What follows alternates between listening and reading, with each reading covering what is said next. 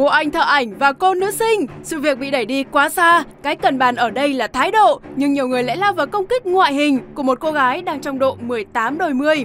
Sự việc anh thợ ảnh chân ướt chân giáo vào nghề cùng cô nữ sinh chê như hát đang khiến dân tỉnh xôn xao. Tưởng như mọi chuyện chỉ dừng lại ở việc tìm ra ai đúng ai sai thì tất cả đã bị đẩy đi quá xa. Trên khắp diễn đàn mạng xã hội, đầu đầu cũng ngập tràn ảnh chế của cô gái kèm theo những từ ngữ không đẹp mang hướng công kích ngoại hình. Trở lại câu chuyện trên, trong bài post của anh thợ chụp hình, cái đáng bàn ở đây là hai từ thái độ khi anh bị vị khách này chê như hát, kèm theo đó là cách hành xử không mấy đẹp. Nữ sinh ấy thì đang trong độ 18 đôi mươi, đương nhiên cũng cần phải xem lại về cách cư xử của mình. Thế nhưng anh thợ cũng chẳng phải dạng vừa, mà theo như một người trong nghề nhận xét thì việc cô gái ấy lôi những bức ảnh được bạn chụp cho không phải là không có lý.